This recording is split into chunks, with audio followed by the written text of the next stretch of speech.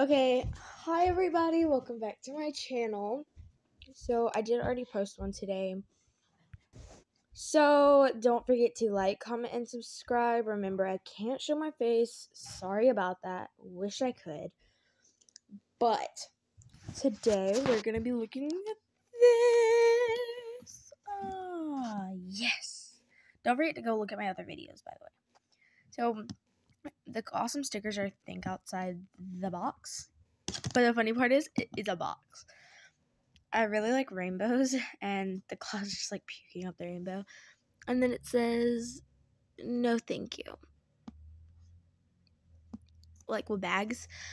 So, we're just going to show you what I do for fun sometimes. Sorry, my room's clean, to be honest. It's actually not that messy just going to be show you, showing you some of the rubber band bracelets that I'm making and have made. This is actually one that my sister's made. Uh, you can find her, you can go look at her channel. Hers is Kaylee Kiros. Go subscribe and leave a comment and like. So I've always thought of this bracelet as like an Easter egg one. So the funny part was Easter was yesterday, so I should have worn this, but I didn't. Um, we love making these. They're octopuses and they've got little tentacles and eyes and everything. They're just like really, really cute.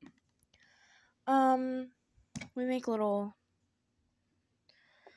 just little regular chains and pieces and a lot of these bracelets are like really unique. Like this one she made by hand, no looking or anything. This is a balloon. See, like that, and it's got the chain and everything. And then here's another bracelet she made for me. It's very like weird and cool at the same time. It's like half a heart. See, like if you can tell right there, there's heart, piece, and yeah. There's um a starfish, so it, it's really cute that it's a starfish.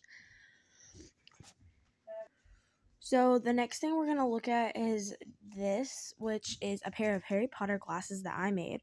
Um I personally have glasses. So these are and I don't really like Harry Potter, but these were just supposed to be regular glasses until they turned out to be circles. So I had to change and I made them look like Harry Potter.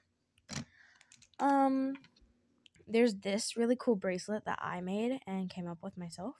You have a line and then it curves into another one and it's small for like kids' wrist. Um, we have this one that she made for me. It's very pretty. I love the colors. They remind me of Easter.